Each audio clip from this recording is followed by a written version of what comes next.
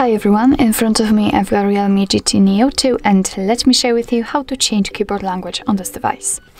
So first of all, let's open the keyboard, for example, in messages. It doesn't really matter where, just open it.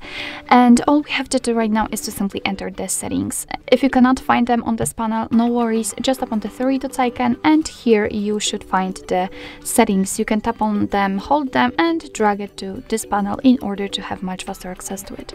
So let's enter the settings if you found them. And now let's tap on languages. As you can see here, we've got the list of all applied languages. We've got only English right now, so let's tap on add keyboard.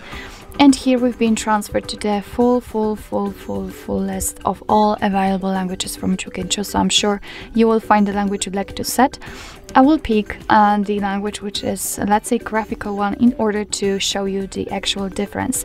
So let me tap on Arabic. So if you find the language you'd like to set, just tap on it and sometimes you will also be able to pick the region. So the same situation just tap here you've got the keyboards. You can pick uh, both of them or only one and tap on done. And as you can see here we've got the uh, newly chosen language added. So we can go back to the keyboard and check and here we've got actually two differences. I'm not really sure if you've paid attention um, at the very beginning of this video, but no worries. First of all, we've got the spacebar, which is not empty anymore. Right now we've got the name of the language we are currently using. And next to it, we've got the globe icon, which is a language key, and it will uh, allow us to change the language layout.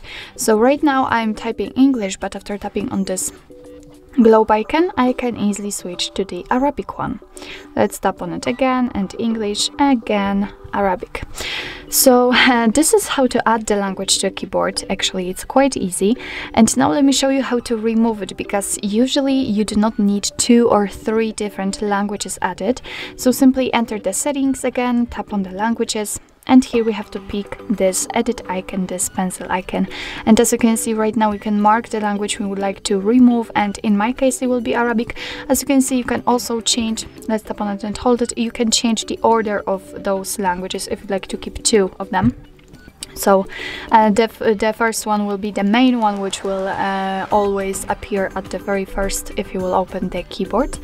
So let me focus. Let me let me actually remove this language just by tapping on this uh, trash bin icon. And as we can as you can see we've got the English left.